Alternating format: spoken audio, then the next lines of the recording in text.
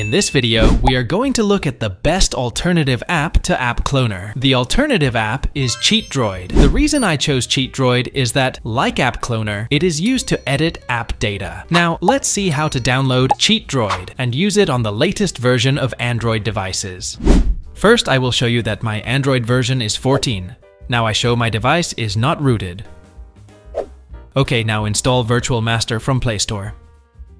Open Virtual Master. Click here to activate Virtual Master for Android 14. Now connect to Wi-Fi. You can also turn on the hotspot on another device and connect to it. Make sure the hotspot connection should have internet. Don't worry, this Wi-Fi is only required for first-time login. Now we need to open developer option. Open your settings. Click on About Phone. Tap on the OS version 7 times. Now open developer option. Now open Virtual Master. Click here. Now allow notification permission. Click here. Click on Wireless Debugging. Enable it. Click on Pair Device with Pairing Code. Now enter this code in Notification Bar. Click on Activate Now. Tap here to activate. Now the Virtual Master is properly activated. Click on Create VM. We don't need this Wi-Fi anymore. Turn it off. Download this.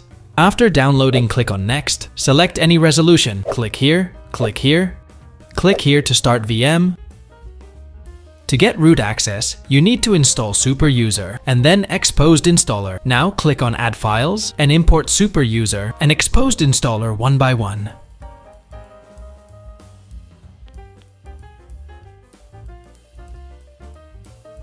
Now import both Cheat Droid and your game one by one.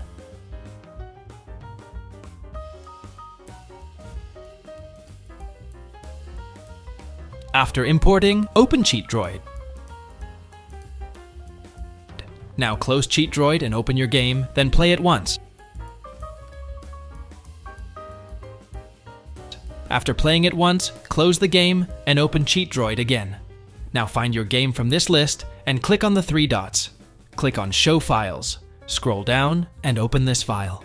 But keep one thing in mind, the file name won't be the same in all games. Every game will have a different file name. Now, in the search bar at the top, type Coins. Click on the tab that shows Coins and enter the amount of coins you want. After entering the amount, and save it. Now click here to go back. Click Save again. Click here and go back.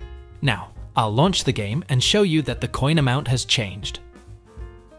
As you can see, the number of coins I entered is now in the game. So, this is the method to use the latest version of Cheat Droid on devices without root. Also, keep in mind that this video is for educational purposes only. Always use Cheat Droid ethically. Using it in all games is illegal. We must respect the hard work of game developers and their terms and conditions. Always get proper permission before using Cheat Droid in other games. Thank you.